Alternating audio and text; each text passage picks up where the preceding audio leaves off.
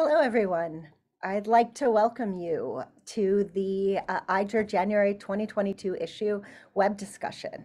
My name is Liza Weinstein. I'm an associate professor of sociology at Northeastern University in Boston and an editor at the International Journal of Urban and Regional Research. And it is my pleasure today to gather together um, some of the authors, many of the authors um, from the January issue, and um, to host a discussion today on really timely and important themes of populism and right wing political imaginaries. This discussion that we're going to have today will build on, but will aim to not duplicate um, the uh, the rich uh, conversations and articles that were had in IJURR's January issue, um, which was comprised of four uh, uh, interventions pieces and five rich articles um, that you most of which you will get a chance to hear from today. Unfortunately, two um, authors for two of our papers were unable to be here to present today, but we will have um, uh, seven of the articles. I think we'll, we'll see as we um, as the conversation unfolds. So I um, I will the the plan of events today will be that the authors will each introduce themselves and will provide brief introductions to the article uh, to the arguments in their articles or papers and um, and then I will offer some brief commentary and um, conversation, you know, some, some questions to launch our conversation. But we have uh, structured today's discussion so that we have the majority of time set aside for audience questions. So hopefully you have had a chance to read the January article, the January issue. But if you have not yet had a chance to read, I am sure that the, the presentations will give you a lot to think about and will um, be a nice launching pad for today's discussion. So um, please um, use the Q&A um, at any time during the presentations today to drop questions in um, the Q&A box and I will um, be curating the questions and be um, posing them to the authors after their presentations. So I would like to um, uh, hand the, the virtual mic to Nina Ebner, who will be um, introducing her paper today. Hi, good morning, everyone. Uh, my name is Nina Ebner. I'm a postdoctoral fellow at UT Austin. Thanks so much to Liza and Eshna for organizing this event. Um, the title of the article that I will introduce briefly today is Fantasy Island, Paul Romer and the Multiplication of Hong Kong. The author is Jamie Peck, also present on this panel. Centered around Nobel Prize winning economist Paul Romer and his idea of charter cities, our paper explores the resilience and persistence of particular neoliberal urban development imaginaries, despite their unfounded hubris and repeated failures in practice. We track the ways that these imaginaries are conceptualized by a diverse set of actors across the center right spectrum and attempts to implement them, in this case, in the form of protracted efforts to create charter cities in a post coup Honduras. To do so, we got creative with methods and sources, which included TED Talks, podcasts, media sources, interviews, and dialoguing reciprocally with existing great ethnographic research. Charter cities have been described as special economic zones on steroids. They are neo-colonial visions of startup urbanism, territorial enclaves founded on, you know, ostensibly empty land, governed by, governed by free market rules modeled on idealized versions of colonial Hong Kong. According to charter city advocates, pro-corporate and market-friendly development is catalyzed through the application of superior systems of governance, better rules guaranteed by a foreign state, preferably a so-called developed one.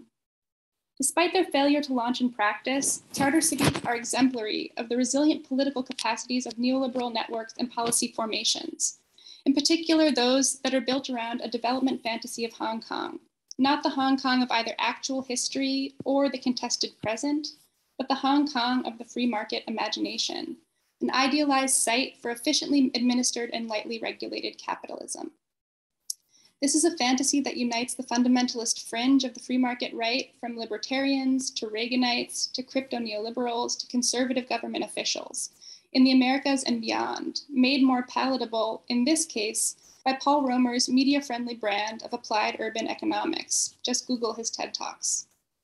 Despite their framing as a radical new urban development model with the potential to resolve economic and immigration crises in the so called developing world, charter cities should instead be understood as repackaged versions of the deregulated market enclave.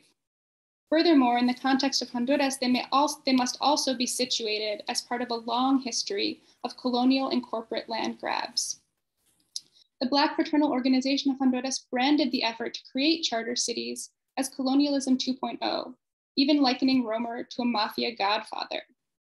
Finally, efforts to build a Hong Kong of the Caribbean in Honduras also illuminate the relegation of sites in the so called global south to zones of experimentation.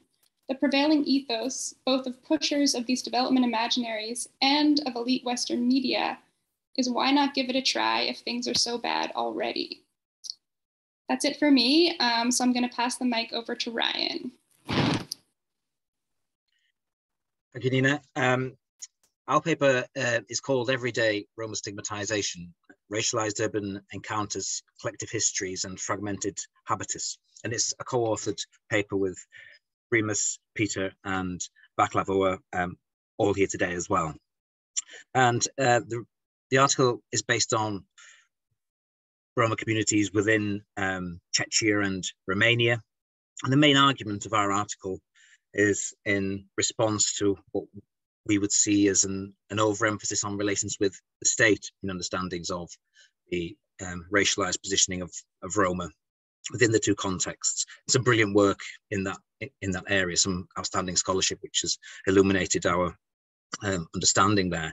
But we saw um, much less work on the kind of micro settings of the urban and the the way in which um, stigmatization manifests in the everyday, in the the relational, and in the, the specific materialities of um, of of the urban.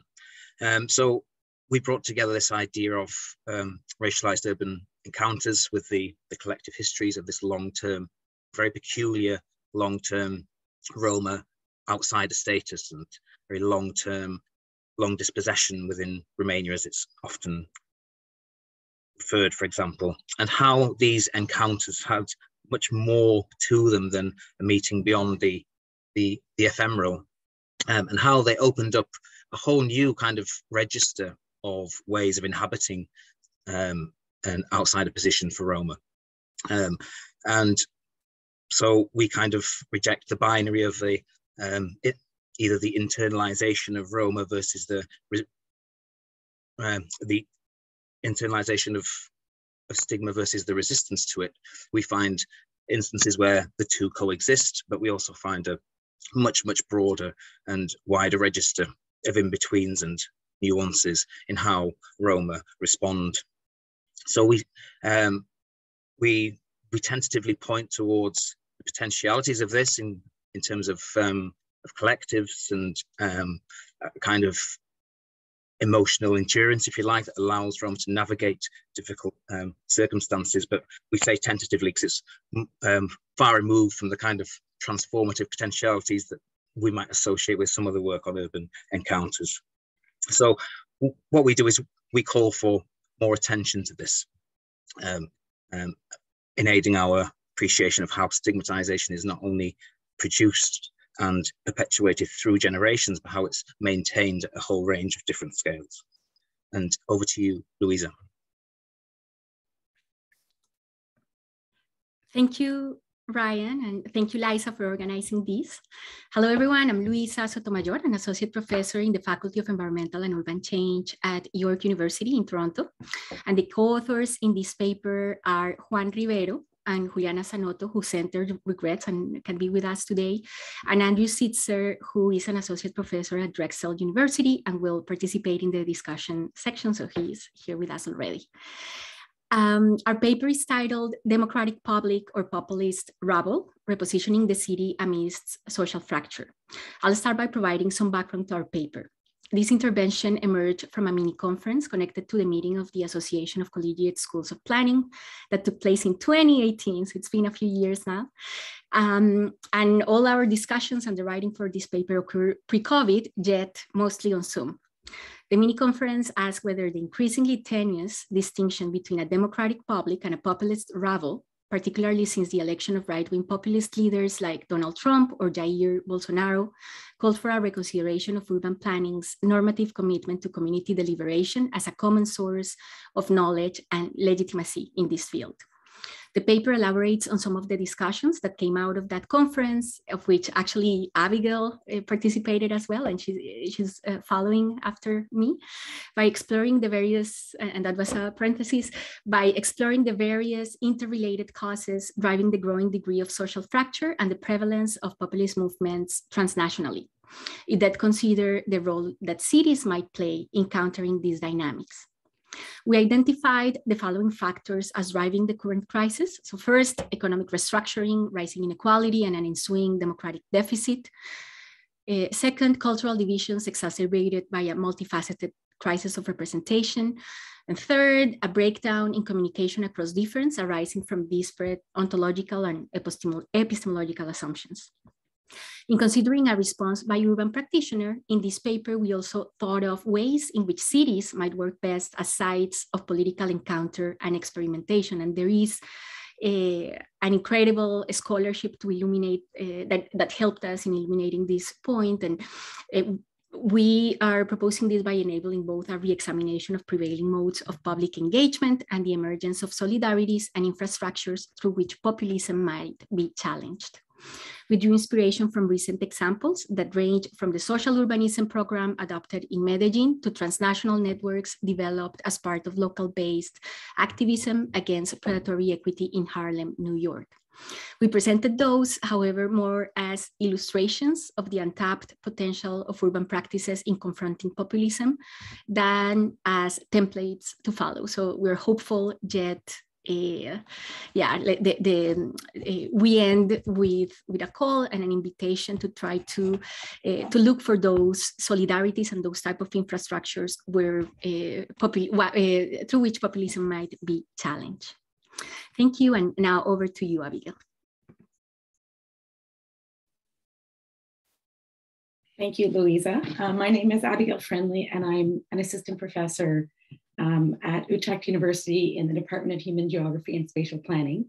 Um, and my paper is entitled Insurgent Planning in Pandemic Times, the Case of Rio de Janeiro.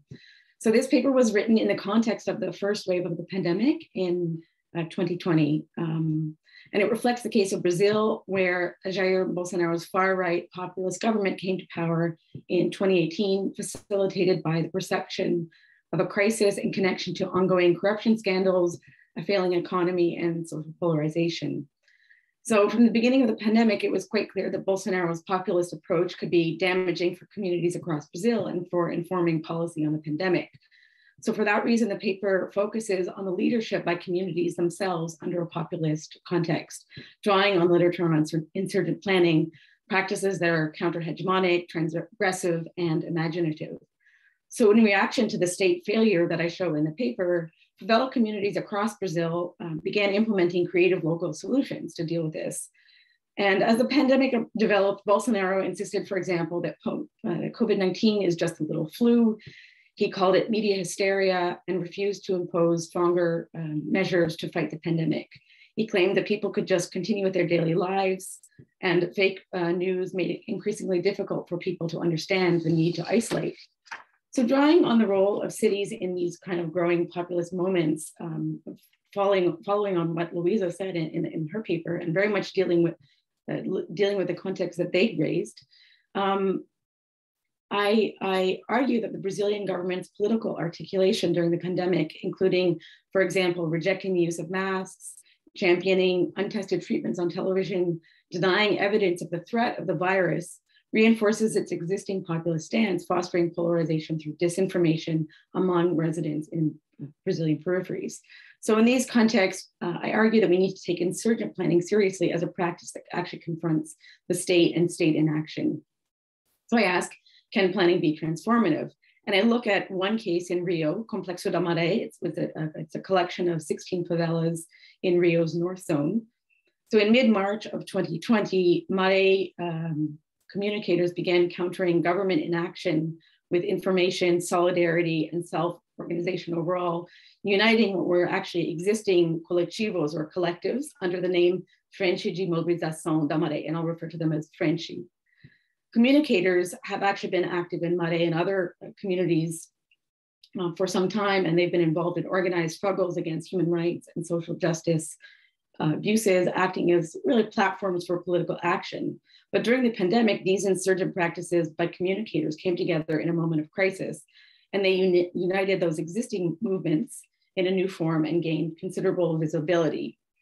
Um, communicators called attention to the need for local solutions with accessible language, adapting information to Maré's local reality, uh, posting banners around the community calling attention to the importance of hand washing and staying at home. Um, they also um, produced a lot announcements broadcast from cars and they encouraged residents to share water and solidarity. They fostered uh, public policy debates about the need for prevention and distributed food and hygiene products. So performing these kinds of state-like function, these organized counter narratives situate the favela as the protagonist in that narrative. And as a result, they framed the issue around rights that oppose state failure. And I show in the paper that these acts by communicators are very political, confronting the Brazilian state and its irresponsibility to residents um, in favelas, especially during the pandemic. So one Frente member told me that this work goes, goes against the grain of the Brazilian government, as the Brazilian government does not see us as part of the city. Um, these political acts by Frente are key to unsettling a normalized order and highlighting the role overall of insurgent planning. So the, seeing the case from the context of a pandemic highlights that insurgent citizenship is possible even under very, very difficult situations such as this one, but also that the context might even provoke, provoke an emergence of, of new forms of insurgent citizenship. And even though these kinds of, or some forms of collective act, actions um, existed considerably before the pandemic, these actions reflect a reconfiguration of what I would say are uh, political forms from those before the pandemic. So I'll leave it at that and I, I uh, pass the floor to Danielle. Thank you.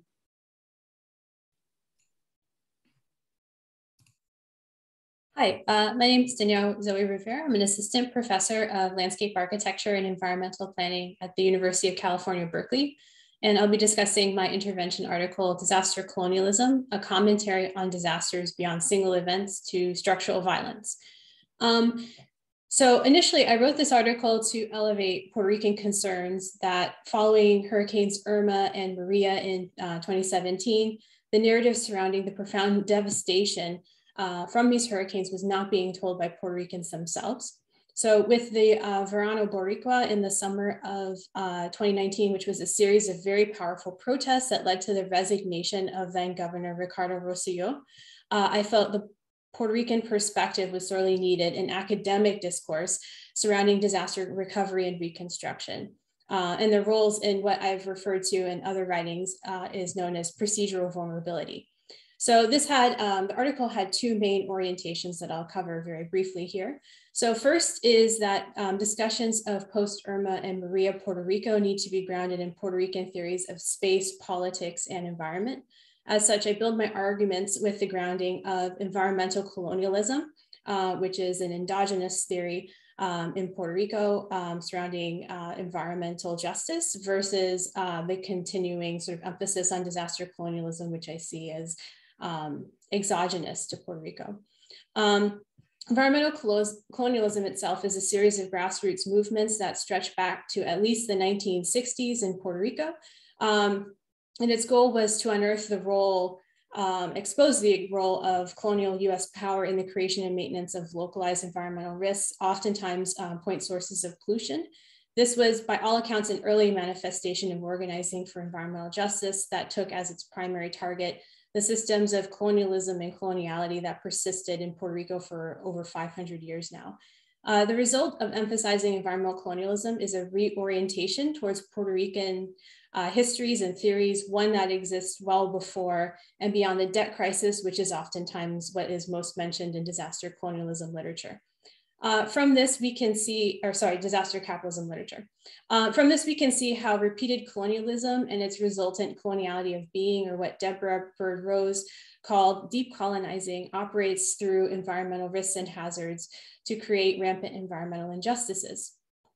So from this, building off of it, we have a second reorientation um, that asks how acute shocks, so major disasters like hurricanes, similarly operate in the service of colonialism and coloniality. So it's here where I propose the concept of disaster colonialism to make explicit the functions and intentions of repeatedly poor disaster recovery and reconstruction in colonized states such as Puerto Rico. It's important to note that colonialism here is not used metaphorically, but is meant to address a very real and contemporary state of existence. Uh, and since the publication of the article, I've noticed that disaster colonialism has been applied elsewhere as more of a theoretic framework or a metaphor. And it's not that, it's the explicit naming and identification of real procedural injustices endured over longer periods, longer periods of time in highly disaster prone regions. And we have evidence of such repeated injustices in Puerto Rico. Uh, one of the things the article does is it takes a look at the history of hurricanes uh, throughout the region and tries to actually map and identify what has happened after all of these different hurricanes. Um, and so from this disaster colonialism is really that idea of compounding disaster, relentless use of disaster to render endogenous, um, sorry, indigenous political uh, and social systems weak. So overall, my hope is that the concept of disaster colonialism can help us understand that disaster capitalism, which is so often referred to as the source of post-disaster inequities, is certainly a legitimate theory, but in many contexts, such as the Caribbean, it only forms half the story. We need to understand that intricate relationship between capitalism and colonialism in these contexts.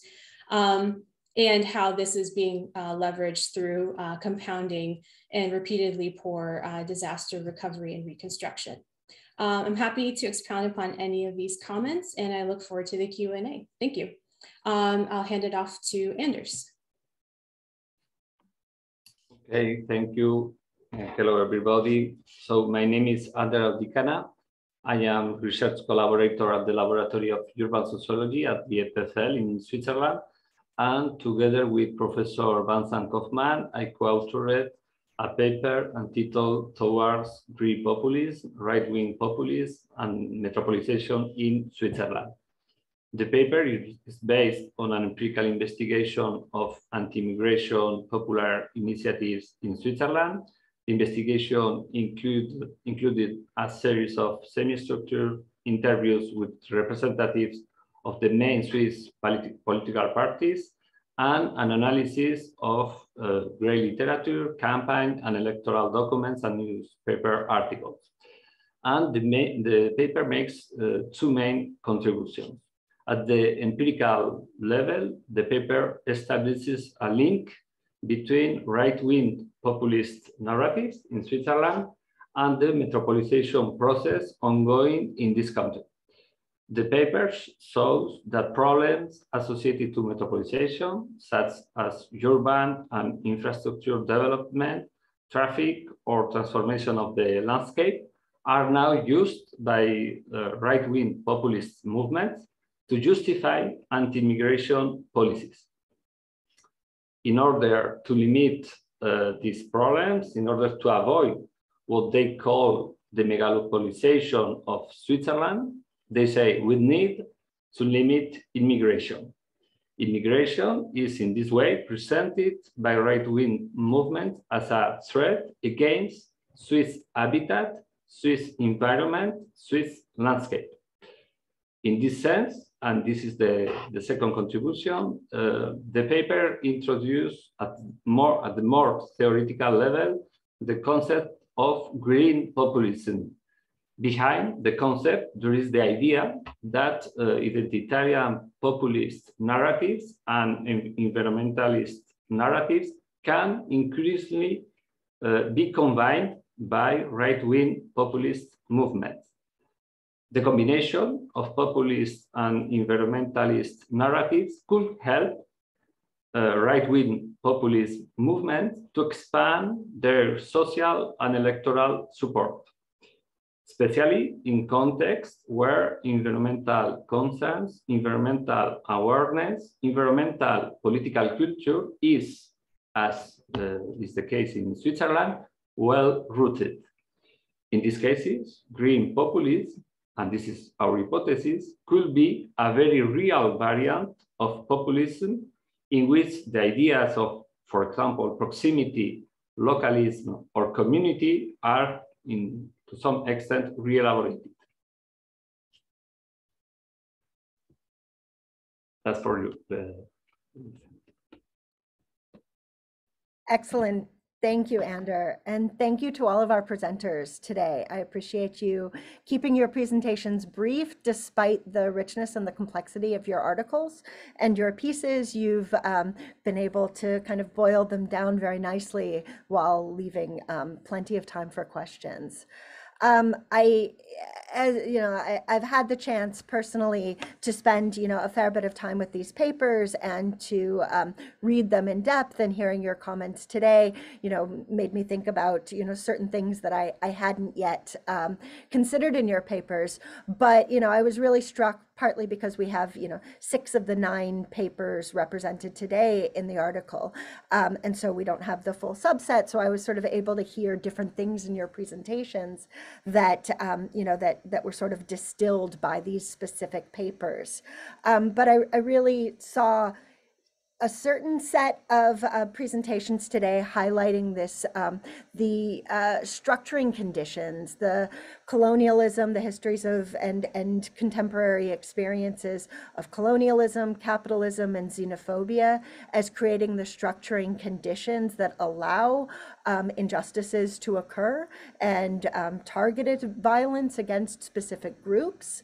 Um, but also, you know, on the other side, um, also, you know, the, the forms of resistance and um, and ways that um, that counter narratives and counter, um, you know, politics are produced at the scale of the city, at the scale of the the neighborhood or the favela, um, or at the scale of the community or individual. In the case of Roma Roma stigmatization, and um, you know, and I was really sort of um, I don't know. I think I, I, was left after hearing this collection of papers with perhaps a, a greater sense of um, of optimism, perhaps, than I, I did when um, you know reading the articles together in the uh, the issue. That um, where I was left sort of more with the consequences of um, of right wing governments, right wing policies, right wing imaginaries in shaping um, you know particular um, responses.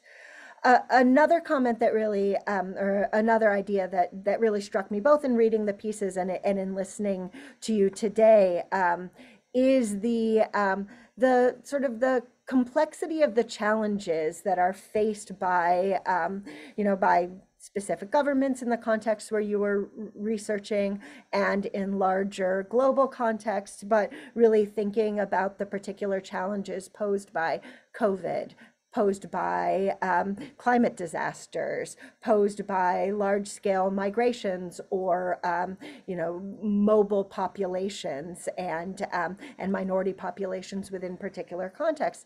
And these are, you know, challenges that operate, you know, where, you know, operate and have feel their effects on multiple geopolitical scales, entail um, uh, sort of policy and programmatic solutions and um, and are, you know, have to be addressed with a particular um, sensitivity to the particularly affected populations, but the um, the sort of the the limitations um, eh, that push possible solutions to these challenges through the structures of colonialism, through neoliberal capitalism, and um, and through sort of xenophobic discourses that limit the possible um, ways that we can respond, or that these you know the, that these governments can respond to the, the complex challenges a uh, those are some comments that you know just a, a, couple of things that have struck me while listening to the paper and as i begin to collect um,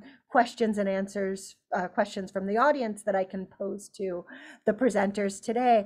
Um, you know i'm i invite the speakers to respond to some of those questions and whether some of those ideas resonate with their papers, but I also have a more specific question that I would like to pose to the presenters, really about the, the research process.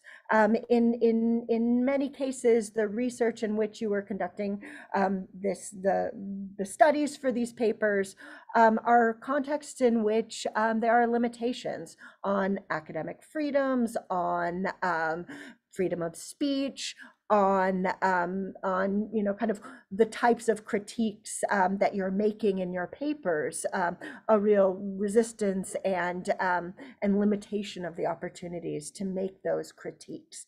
And I wonder, um, you know, in your research sites, how you personally as researchers kind of navigated um, the explicit um, restrictions as well as the more implicit um, concerns that are raised, particularly because, you know, you do research, you know, some of you may, you know, live and, and, you know, you know, be in these contexts frequently or um, to, you hope to return to continue further research.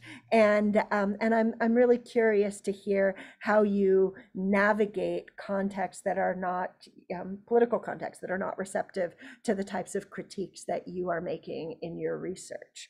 So um, I, I think that a good way to um, proceed just logistically is um, I, in, I will invite each of the panelists in the order that was presented um, to offer any comments either to my question, to my comments, or anything that really struck you while listening to your co-panelists' presentations. And so after everyone has a chance to respond briefly, um, at that point, I, I would like to turn to audience questions. So please audience members. I know we have a, a fairly small but definitely engaged crowd. So please do um, you know pose your questions. I would I would love to pose them to our authors. So returning back to the um, to the to the order of presentation, I'd like to invite Nina to first um, speak to the questions. Yeah, and I also want to open up space for Jamie, my co-author, to, to respond at this time too. Um, I guess I'll just respond a little bit to, to your second um, question, Liza. I think for us, we were we were invested in tracing these kind of right wing imaginaries, which I think is it has its own kind of difficult. It's, it's it presents its own difficulties in terms of method, and so Jamie and I made kind of the explicit decision to really think about how imaginaries are articulated in in digital spaces and in kind of public space as a way to kind of get around some of the gatekeeping that happens when you're kind of trying to do some of this work. Um, but it opened up a lot of really fun, yeah, like kind of fun and creative way of kind of putting a lot of these um, sources together and kind of, as I mentioned earlier, building on a lot of the great ethnographic research that exists, particularly in Honduras, around attempts to kind of instantiate these charter cities in practice. And kind of a lot of this research in particular has been done by early career scholars. So it was a really great opportunity to kind of uplift and center that research without kind of trying to redo it um, as part of you know the efforts of, of kind of writing this piece. Jamie, I'll, I'll pass it over to you for, for some thoughts.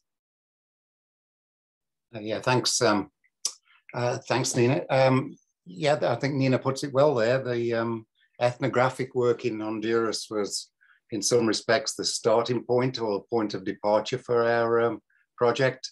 Um, which was done in pre-COVID times, but um, in a situation where neither of us were in the same country when we were working on the paper. Um, and so we, in a sense, we were um, uh, we were working in this network space uh, inhabited by um, uh, uh, by these neoliberal uh, uh, actors and organizations, which leave a lot of traces behind. So there's a lot to um, there's a lot that you can there's a lot of breadcrumbs left behind uh, of these actors, so you can follow them into these spaces. Um, most of them are not uh, especially modest about their claims either. So, um, in a sense, we were operating by following uh, some of these actors in plain sight uh, as they tried to evade uh, resistance and pushback against their projects. In some respects, Charter Cities is a is a classic example of trying to work around resistance by um, identifying so-called greenfield uh, empty spaces uh, to build new projects. Uh, uh, and that fails repeatedly, which is, I think, an important story to tell. It actually fails in its own terms, as well as meeting resistance against it. so I'll, I'll pass on to the next paper. Excellent. Thank you, Jamie and Nina. Ryan, I invite you to respond. Yeah, thanks. Um, I think um, my colleagues probably would have something to say on the, the challenge of navigating political contexts. Um, uh, so I'll pass over to um, to Vaclav um, and for that. But just to say briefly, actually, there's a connection here to some ongoing work I'm involved in on migrants in um, an English context. And that's quite striking. You realize very quickly that um, you're working with organizations at a kind of urban, at the urban level, the neighborhood level, who are in many respects um, in complete opposition to government, um, where the the two goals and um, the discourses are completely going in the other other direction. That's um, I think increasingly something um, we as researchers are are navigating that kind of mismatch. And I know one of the other papers that um, from Berkeley that couldn't be here here tonight kind of addresses that. But over to you, Vaclav, or or, or whoever. Sure, sure. Um, well, I don't think uh, that there was any challenge in terms of research in Roma. And uh, basically, my experience is that uh, the position of the powerful as regards Roma and researchers who engage with the issues that concern Roma is first uh, ignorance. They pretend that we don't exist. And if they do, they are even quite ready to accept you and invite you to some, I don't know, meetings and conferences, but of course, nothing really important comes out of this. And I hoped that I will, I would not bring this issue here, but I can't help myself. We can see how, how, uh, how stupid the situation really is because in Czechia right now, and of course I'm proud uh, about it. We see uh, a great solidarity towards migrants, refugees from Ukraine, of course.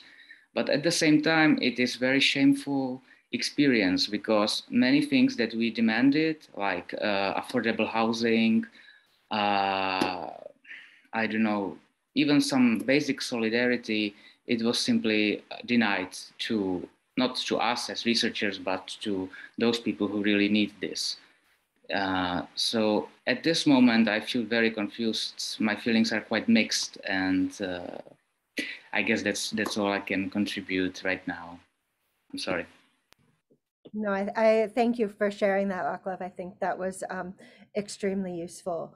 Um, would any of the other authors who um, are part of this paper, Remus and Peter, um, yes. uh, Remus, you uh, unmuted first, so I yes, I, start with you. I, I, had some challenges with the Roma people because I'm working with Roma for 20 years or so. And uh, I published some papers uh, basing on the data I collected, uh, talking to them. Uh, the major issue is they uh, did not like to be registered.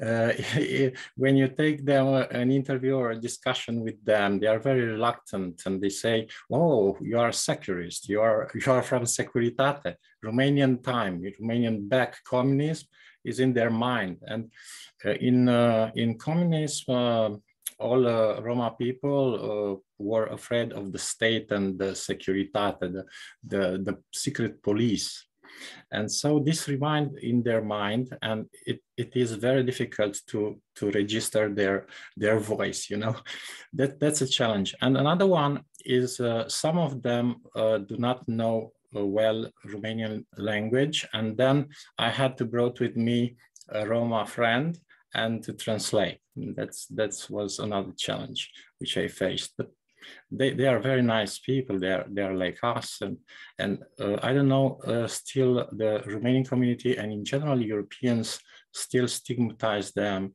as, uh, as they are. It's a pity. Thank you. Thank you. Peter?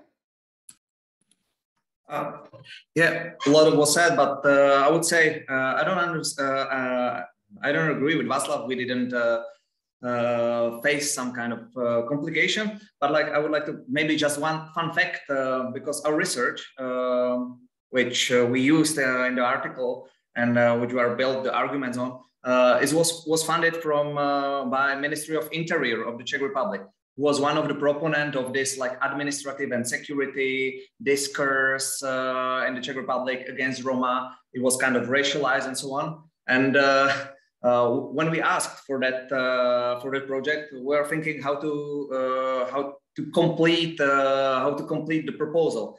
so we used basically the security discourse of the of the Czech state of the Ministry of Interior, which is proponent of that, for like somehow to uh, to overshadow the like our social harm perspective behind the project because we wanted to research the victimization of uh, Roma people uh, living in segregated areas, but it has it wouldn't have been uh, funded never. Uh, in the case we wouldn't use uh, the security discourse full of terms with security risks, prevention, uh, and so on. So we a bit, um, let's say, uh, we fucked up with uh, the discourse and use it for our use it for our efforts. So and for our for our needs. So if it is something uh, we wanted to hear, so we kind of navigated the research around uh, along the discourses. So this is it. Yeah, thank you for sharing that. I mean, I think that that kind of sort of not bait and switch as as explicit as that, but you know, sanitized, you know, research questions and and framings that are appealing to funders um, is something that academics have to do, um, particularly in contexts that are more politically sensitive. And um, and I think that um, a lot of people navigate those in um, you know particular ways, and we don't always talk about those. And um, so I appreciate you sharing that with us. I would like to invite Luisa and Andrew um, to, to chime in now on any thoughts that this conversation has generated for them.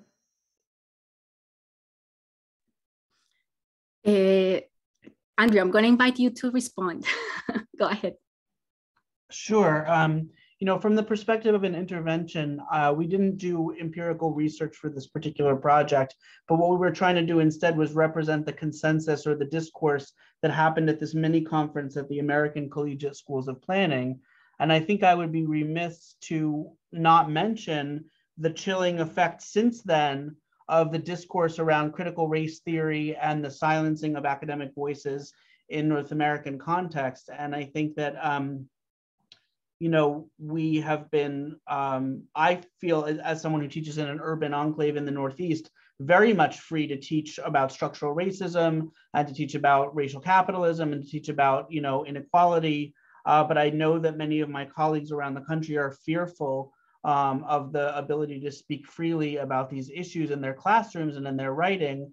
Um, and I think that, that that chilling effect is being felt more widely in the aftermath and the sort of backlash against the racial reckoning that happened in 2020 and 2021 um, following the murder of George Floyd, Breonna Taylor, uh, and others. And so I consider myself very lucky to feel free, both by virtue of my geography and the spatial politics of my university, and also by having tenure. Um, and I know that that's not true for many people with a contingency of academic labor. Um, and I recall just one example from the uh, conversations we were having um, at our mini conference now five or six years ago, where one faculty member who taught in the in the central United States was telling me that his students would bring in in their academic papers as evidence um, uh, evidence from neo-Nazi websites that they were on right-wing and hardcore alt-right and and and traditional right-wing websites uh, pulling evidence, and they didn't even have the ability or the discursive insight to kind of like know that their sources were coming from these, these places. And these were just sources that were in their environment uh, and in their reading diet. And so I just think really um, carefully now about the ability that some of us have and the, the uneven sort of geography of free academic expression when it comes to um, the chilling effect of, of discourses in, in North America.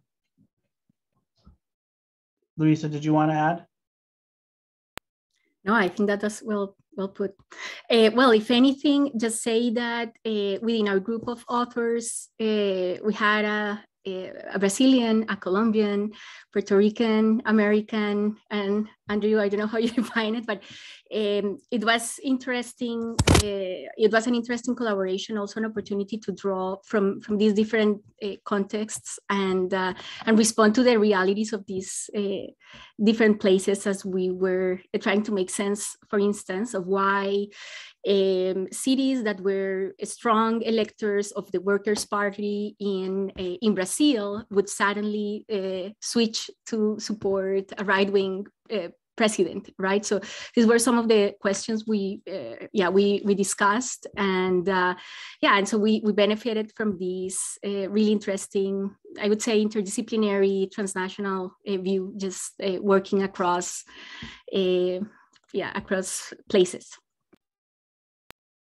yeah, absolutely. And hearing um, sort of the the two of you speak, Andrew and Luisa, um, it's an important reminder of how important these um, the spaces where we can get together and discuss these things with colleagues, be able to talk across contexts, are so important. And um, but not equally available to everyone given increasingly uneven geographies of sort of free academic discourse and restrictions. Um, before we um, move on um, to Abigail, I would like to invite um, the audience members to post questions um, in the Q&A, and I would love to um, be able to uh, pose some of your questions to the panelists following their presentations uh, or their, their comments. Abigail?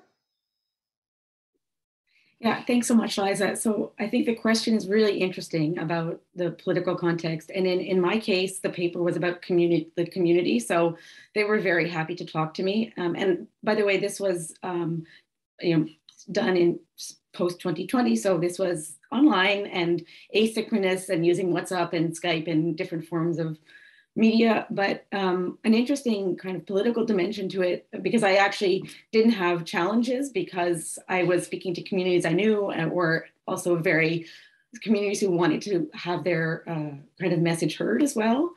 But um, all friends of mine who were in uh, Rio or in Sao Paulo or there during the pandemic also told me that um, there was a real hesitancy of communities to actually talk to researchers um, during the pandemic, especially because of the stance of Bolsonaro and how that would be perceived as sort of supporting him because you don't support social isolation. So, had I been in Brazil, I'm not sure I would have actually done the research. So it, it the kind of methodology opened a lot of possibility, like new opportunities for me to think about doing something like that.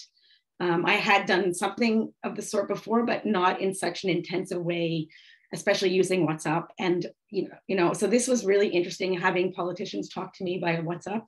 Um, so super interesting, and I became a bit more interested in, in, in that aspect. But I think it's really important to keep in mind the political, like the access issue, and how you know how these kind of mediate what the kind of research we can do. So thanks. Yeah, absolutely. And I think um, I- am just fascinated by your comment that um, that even speaking to you would have been, you know, a, an implicit acceptance of Bolsonaro's policies because of the the, the interpersonal contact and avoidance or, or, ignoring of restrictions.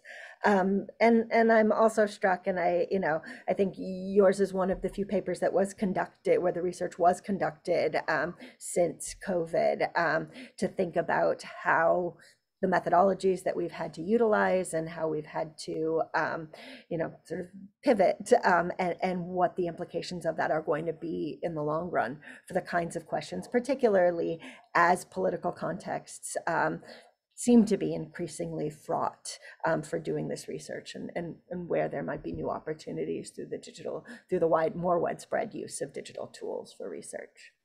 Excellent. Um, uh, Danielle, I would like to invite your comments. Yeah, uh, thank you. Um, I think for for my own research on this piece, I think it was less um, a concern about actually conducting the research. There are, of course, data transparency issues in Puerto Rico. Oftentimes, if you're going to do work there, you have to collect and create the data yourself. Um, because the uh, government doesn't really like to share its information.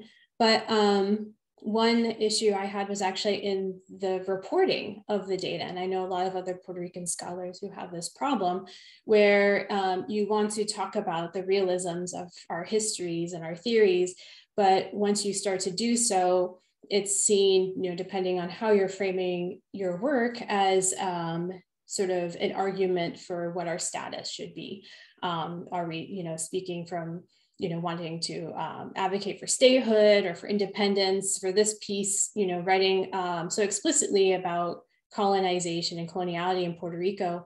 Um, I've been seen as an apologist for, you know, pro-independence movements. And it's interesting because I never said anything about its status and my own opinions. Um, but that's just sort of the reality in Puerto Rico is, you know, if you really try to talk about these issues, it's instantly tied to this highly, highly politicized debate about our status.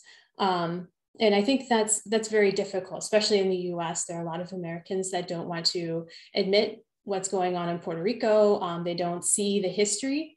Um, you know, how did Puerto Rico become part of the U.S. and just looking at that history and that war and what happened, uh, I think is very you know telling of what our current situation is.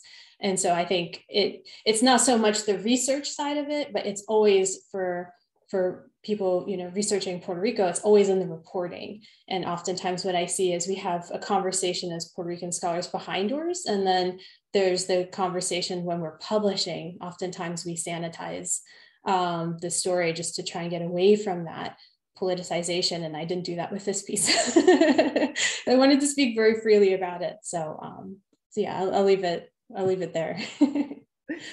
well, I, I, I do have to say I appreciate you speaking so freely, and I remember first reading the piece at your when you submitted it, just being really excited by your frankness and by your willingness to speak truths that are often left unsaid. Um, so thank you for sharing that. Ander, I'd like to invite your comments. So uh, we have not really a lot of challenge in, in Switzerland uh, to conduct the research. So I think we are in, in another context, political context, social context, we, we have access to the, for example, uh, to the representative of the Swiss People Party, to the uh, people from the Ticino Liga. So it was from the point of view of the access to the, to the field, there was no problem. Uh, what is what I think it was interesting in the in the paper and the research process. It it was that um, I I am Spanish. I'm from Spain. I was uh, in Switzerland uh, for a couple of years, and so I was like a, a kind of immigrant with some curiosity in the in the country. And then uh, the co-author, who is uh, Professor Vincent Kaufmann, has had the, the authority, a little bit of the uh, knowledge of the Swiss uh, politics, of the Swiss uh, society. So the combination of two um, researchers, one who has the curiosity of one country which is uh, new, uh, for me it was uh, absolutely, everything was new, and the I say, I would say the, the knowledge, this experience of the country of this uh, co-author of uh, Professor Vincent Kaufmann. This combination, I think, was critical to to to, to, to create, to, to, to work on, on the paper. For, for I think for us, this was a, a very, yes, a very interesting thing. And I think that uh, both uh, help or both were able to help uh, each other in in order to to to conduct the research and and at the end uh, write and publish the paper.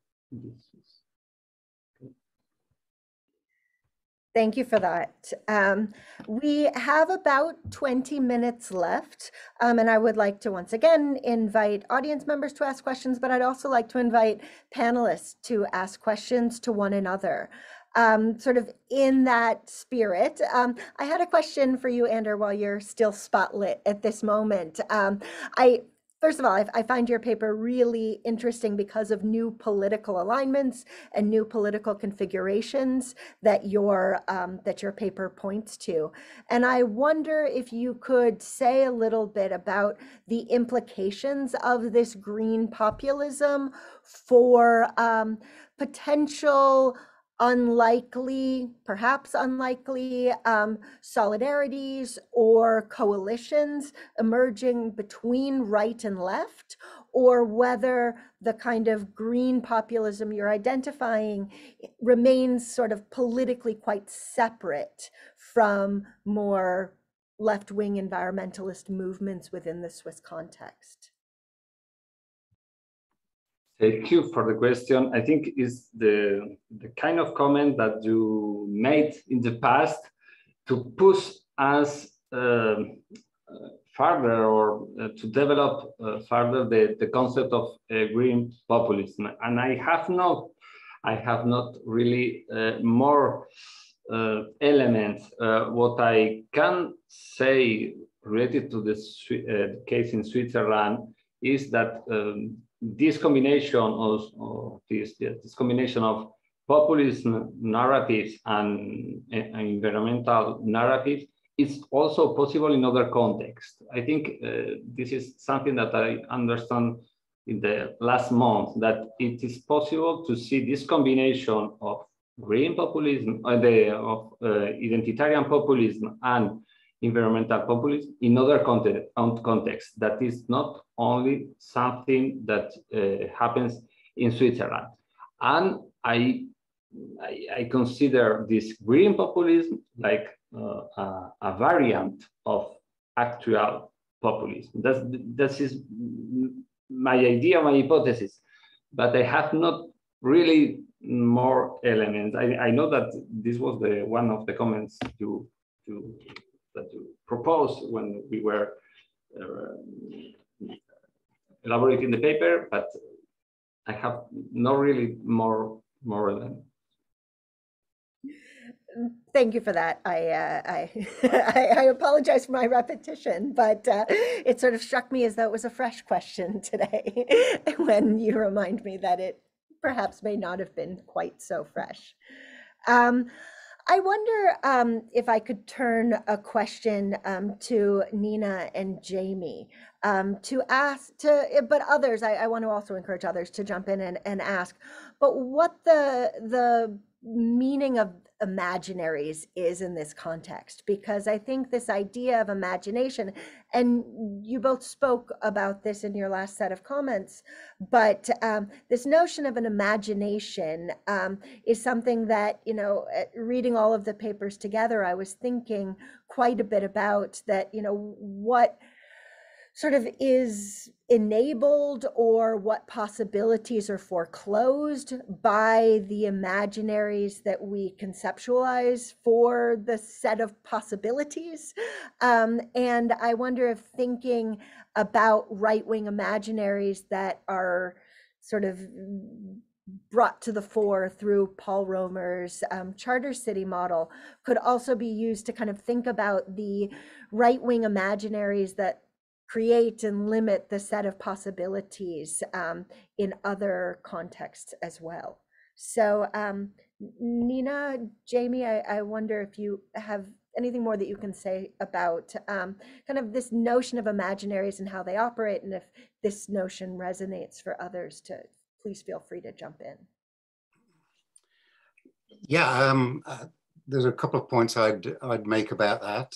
Um, one is uh, I mean, the, the, focus of our paper um, is in many ways on uh, what, what, I would still call a neoliberal imaginary, which um, uh, certainly isn't exclusively right wing. Its um, its characteristics are uh, are that it's extremely kind of persistent and and occupies quite a lot of the mainstream. I mean, it's it's striking um, that what's what um, we felt were you know, borderline crazy ideas about annexing uh, large areas of land and building brand new cities of 10 million people um, were indulged so much by the New York Times and, uh, and quality media. Um, Uh, and, and there's easy access to that for uh, many of these uh, kinds of arguments. So the, the, it, it's quite heterogeneous and it, you can trace the hard core of these ideas to um, some quite strange circuits of, of libertarian um, uh, uh, politics. But at the same time, it lives in neoclassical economics and uh, the winners of the Nobel Prize, and, and this it, it is broadly sprawling across um, uh, uh, the political spectrum. So it, it, was partly about how um, how broadly uh, consumed those messages were and reciprocated in in quotes mainstream uh, circles. Second point I would say is the kind of the, the starting point for our paper is uh, ongoing work in Hong Kong, um, from which we're um, uh, still excluded for uh, all kinds of uh, COVID-related reasons for possibly at least another year. Um, but Hong Kong is a is a the starting point for our uh, work there was because of the persistence of this imagination of a, a kind of free market island which never existed in Hong Kong in those terms either. It's a, it's a fantasy of um, of Milton Friedman and, and others on the right, uh, but has passed into general usage. Um, and, that, and that mythology of Hong Kong, uh, where the imaginary is secured by uh, an idealized image of the past, um, becomes quite a powerful sort of geographical metaphor that's repeatedly reused. So the the the, uh, the clues that we used to tra- to follow these networks were the references to Hong Kong in Latin America. You know, where did these references come up? Who was using the reference? How were they using the reference? Invariably, it was with this idealized image in mind. So there's something about the um, the persistence of of those geographically indexed uh, uh, imaginaries uh, and the way that they kind of live in the um, um, in the networks of the right and the mainstream uh, that I think um, we tried to bring out in our paper. Yeah, absolutely. Uh, Nina, would you like to add anything to that?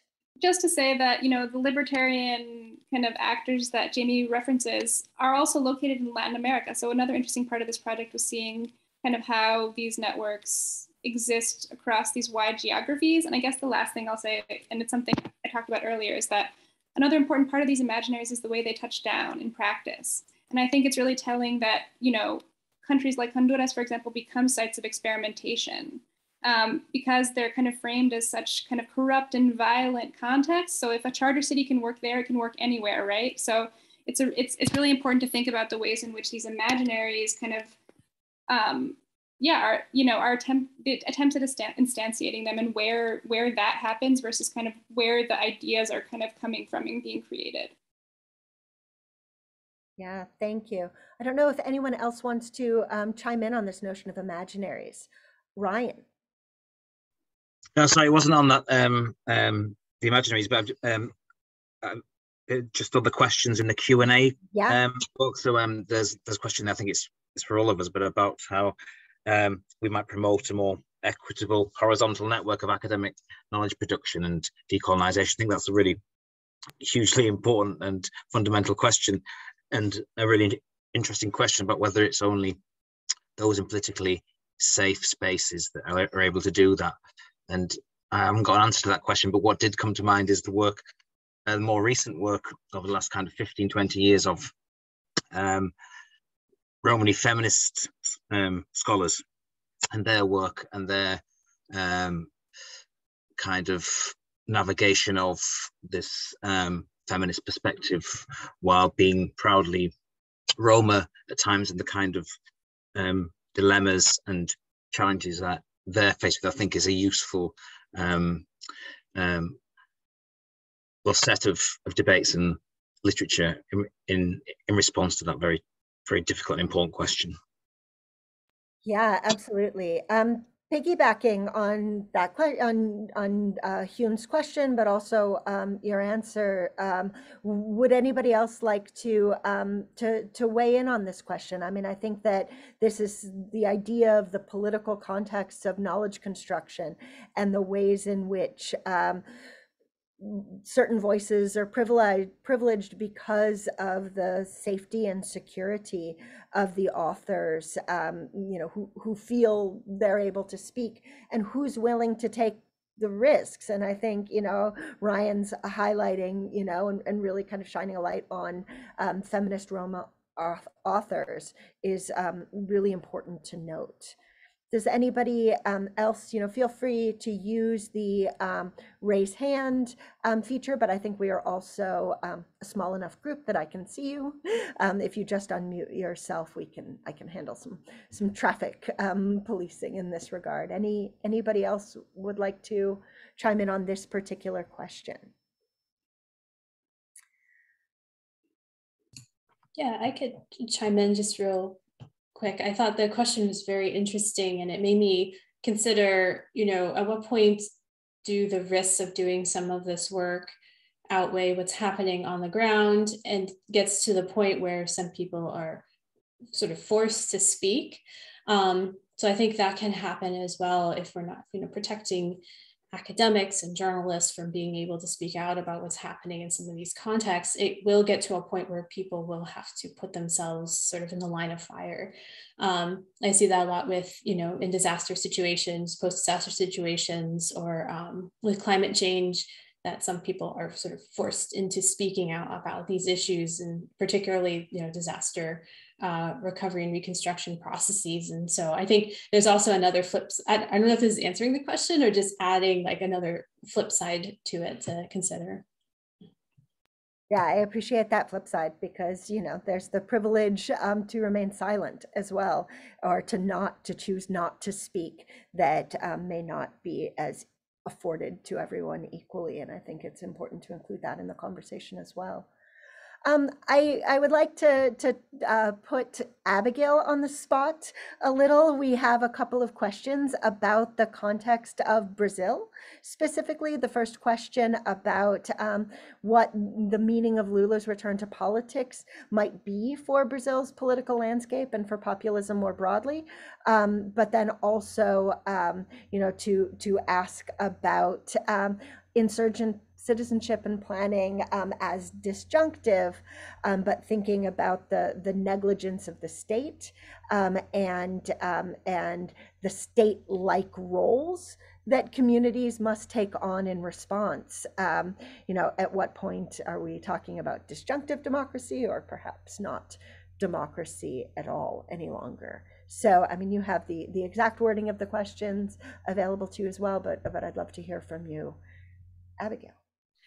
Well, I, I mean, uh, maybe I'll answer them together, uh, both questions together. I mean, I don't know what will happen in Brazil, obviously. Um, but I guess, uh, especially like looking back at history, I mean, there have been blips of populism and then so ups and downs and lately very rocky. So I guess the return of Lula, who, who knows what it, I don't really know. I mean, I'm not a, I can't see the future, but I would hope that things are better uh, look better in the future but i i don't hope i mean i don't know if that will be that quick because it's been uh, so many different challenges. As far as this disjunctive democracy i think when i talk about state like roles of communities i don't mean that they should be doing those things. I just mean that they're stepping in in in this context that's really terrible. So i don't kind of equate them and i don't think that i I guess I'm talking about a particular context, which is the pandemic. Um, so I don't necessarily think that these should be long lasting at, uh, at all. So I, I, don't equate them, but, uh, but really uh, interesting questions. Yeah, absolutely. I wonder if I can kind of pose the same question that Ab Abigail just um, responded to, to Luisa and Andrew, perhaps. I mean, this idea of activists, um, practitioners who you know may be working as part of administration or or bureaucracy as urban planners or as in other capacities, but taking on roles that they might not necessarily be charged to do so in democratic contexts, whether you have some concerns about the possibilities for democracy as um, we we see sort of you know groups and individuals taking on new roles in democratic contexts.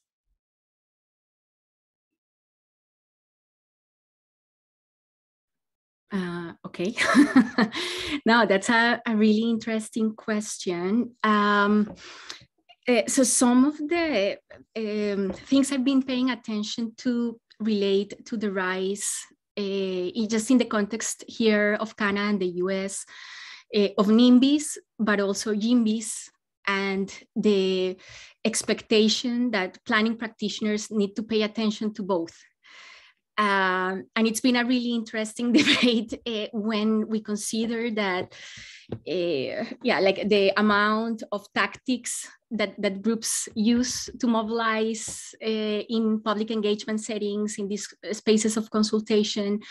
Um, so traditionally for urban practitioners, the, the consultation has worked as a particip participatory setting uh, meant to actually try to balance uh, Eh, interest and uh, for planners we talk a lot about the public interest and the role of the planner eh, in aiming for equity outcomes and trying to highlight silenced voices that we wouldn't hear otherwise. And so as a planning educator that's a, a big chunk of the planning education that we do is trying to figure out how can communities or, or people who are traditionally marginalized can participate in these scenarios and understand the, the politics of uh, urban change. Um, so it considered uh, in light of uh, populism and uh, the issues we've been discussing today, I think that, uh, yeah, like the, the, the prevalence of uh, NIMBY techniques but also the, the YIMBYs and how they are often uh, showed as if they were intention, yet both uh, are pretty much grounded on defending uh, private interests in a particular way. Um, it's it's traveling. I don't know if I'm responding your question, uh, but that's just something that that came to mind. And what can practitioners do to encourage more? Um, inclusive environments what's one of the questions that we discussed at length and definitely uh, yeah, so there are all these assumptions about cities being these spaces for uh, for building um, communication across difference and for uh, yeah create, creating like these more hopeful encounters. Um, yet, and then we see a role for urban practitioners trying to facilitate also through uh, I guess, uh, a particular set of, of, infrastructure of solidarity. But yeah, but that is a really interesting question. And if anything, that is our weak, weak spot in our paper.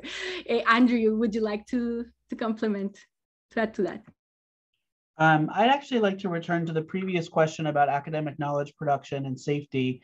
Um, you know, I, I teach a course on civic engagement and participatory planning um, where we have both uh, students from my university and, and community residents taking the course side by side in a community engaged learning format. And uh, as such, what we try to do is encourage them to, to uh, increase their community change capacity to do kind of community organizing and community change work. And we try to expose them to a variety of practitioners who are doing this work in real time. And one of the groups that we brought into the classroom just this past week was a panel of investigative journalists. And there are some interesting parallels between academic researchers and investigative journalists. And I, I don't think I'm the first person to say that. Uh, but one of the things the journalists spoke to our students about was the challenge of working with marginalized and traumatized populations.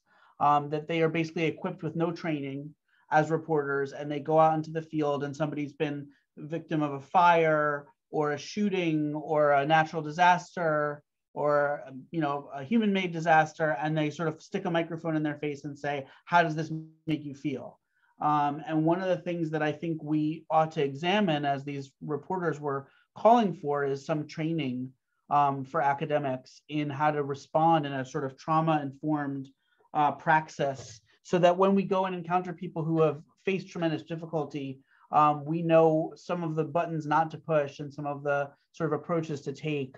Um, and I don't think we can rely on the training that we get in our PhD programs uh, to, to help us kind of encounter folks who've been through tremendous difficulty. And so I was taking a cue from my colleagues in investigative journalism who do are beginning to get training in this um, for, for their work. And I just thought it would be very important for us to consider the possibilities for the academy to uh, think about how to encounter subjects who are in distress.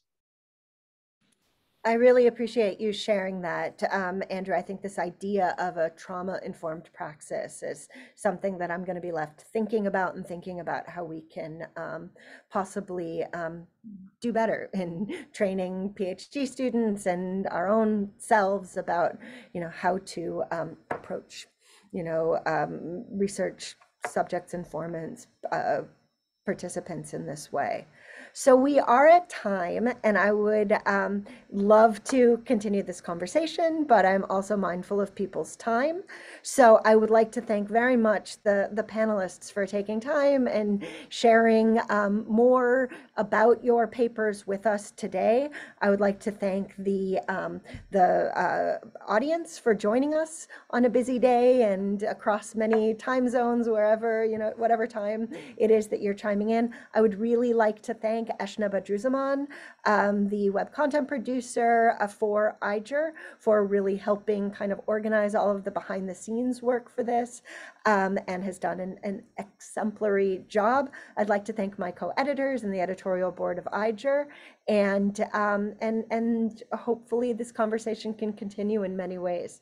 So I'm going to end the meeting now, but thank you um, for, for being part of it.